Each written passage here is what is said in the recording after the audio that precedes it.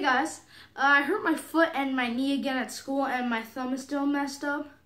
So, as promised on one of my comments, I'm going to be doing a bowling tour bag. So let's start with the second most essential thing, and this is a K sports bag. The second most essential thing to your balls are your shoes. And I actually have Dr. Scholl's in here. I usually have an S9 on them. That's the slightest one I have. I have a T2 Plus traction sole. And these are Dexter SST8SEs. Not SST8SEs, just SSTSEs. Keep getting that confused. That's all that I have in that compartment, plus some more slide soles. So let's go up here into my accessories. I have just a Brunswick ball, bunch of tape wrappers. Get that out of here. Ooh, I hate the smell of that. So I have a Brunswick rosin ball, a shoe brush, just for getting your shoes all clean. That's a little dusty. Everything in here is dusty because of the rosin. I have some ebonite tape. It goes in your bag. My dad just walked in. Not your bag, your ball. This does go in your bag, but I have some stuff that Storm Thunder tape pre-cut.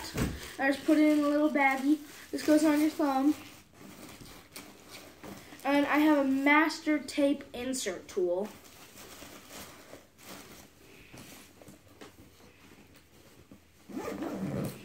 Now let's go into this back compartment that you can't see.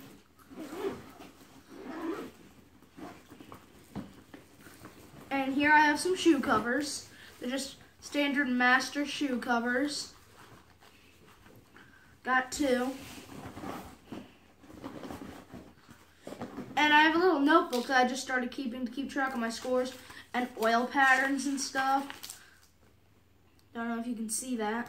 But yeah, I use it to keep track of oil patterns stuff. I haven't really, I've bowled on a bear pattern, but I haven't really bowled in that many sport shots.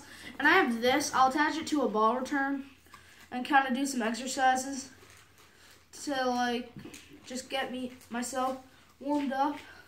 It's a little too long to do this. Yeah, I do stuff like that. I'll usually like attach it to a ball rack or something.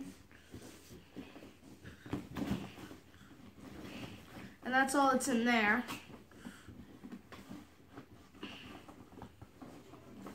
The zipper isn't being cooperative. And now in this compartment, I have a first aid kit. Because, you know, you'll skin your thumb. Johnson & Johnson is just a little mini one. It fits perfectly. Can't fit anything else in there.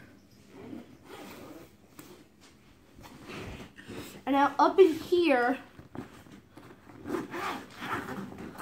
I have a, a wrist support for when I'm practicing, a wrist liner, this is from Storm, and this is a microfiber towel that you'd use to clean off your ball, but I have a chamois to do that, I just use it as a hand towel.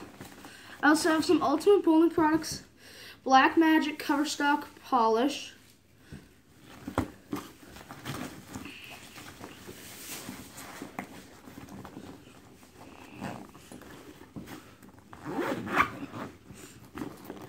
And in this compartment, have my little Storm Chamois.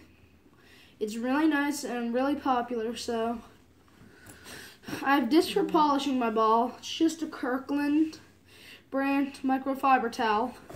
And I have a Storm React-A-Clean. Now to the part you've all been waiting for.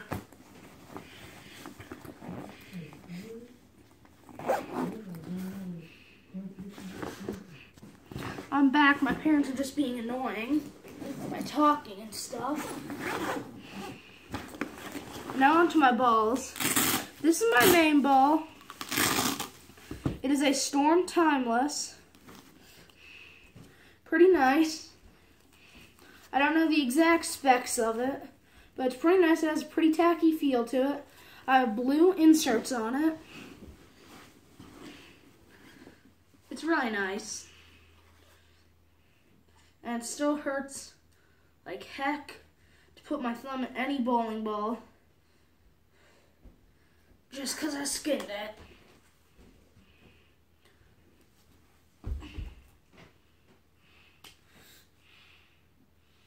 See, that's the timeless.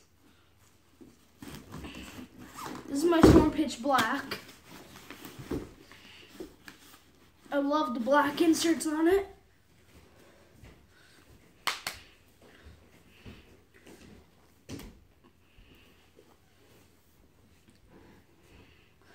I what cover, not the cover stock.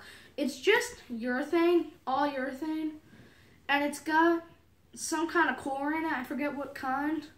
I'll look it up. I'm leaving links in the description to all these bowling balls, except the bullseye because I know everything about that one, and it's a spare ball. The bullseye.